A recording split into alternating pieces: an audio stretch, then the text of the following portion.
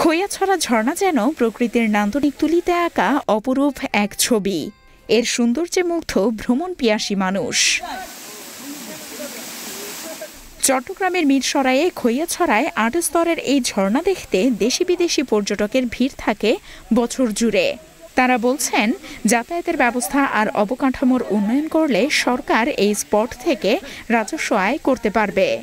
চট্টগ্রামের মিরসরাই উপজেলার খৈয়াছড়া ইউনিয়নের বড়তাকিয়া বাজারে উত্তর পাশে ঢাকা চট্টগ্রাম মহাসড়কের চার দশমিক দুই কিলোমিটার পূর্বে ঝর্ণার অবস্থান। এর মধ্যে দুই কিলোমিটার যাওয়া যায় গাড়িতে।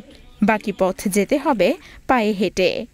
বাঁশের সাঁকো, ক্ষেতের আইল, আঁকাবাঁকা পাহাড়ি পথ আর চারটি পাহাড় পেরিয়ে যখন ঝর্ণার স্বচ্ছ জলে গা ভেজায় পর্যটকেরা, তখন পথের ক্লান্তি ধুয়ে যায় নিমেষেই।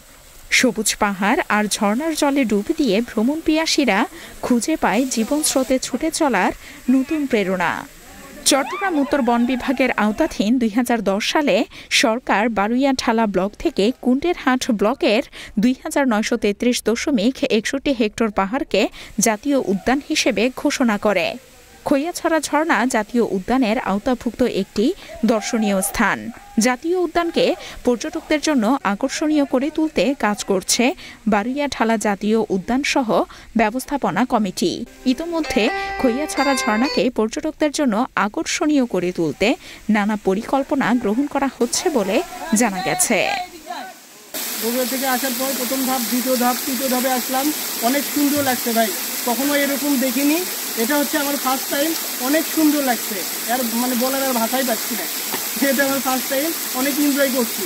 নেক্সটটা দেখি আরও উপরের ধাপে যাওয়ার চিন্তাধারা আছে ইনশাল্লাহ যাব। যতদূর যাওয়া যায় যাব। ঝর্ণাগুলো দেখার জন্য আসছি। অনেক দূর গেছি ওইদিকে দেখার জন্য। দেখ আলহামদুলিল্লাহ অনেক সুন্দর লাগছে। আল্লাহ তালার কুদ্দুত অনেক সুন্দর। দেখতে অনেক ভালো লাগতেছে। আরও সামনের দিকে দেখার জন্য ইচ্ছা আছে ইনশাল্লাহ। দেখি সামনের দিকে যাওয়া যায় কতটুকু ইনশাল্লাহ।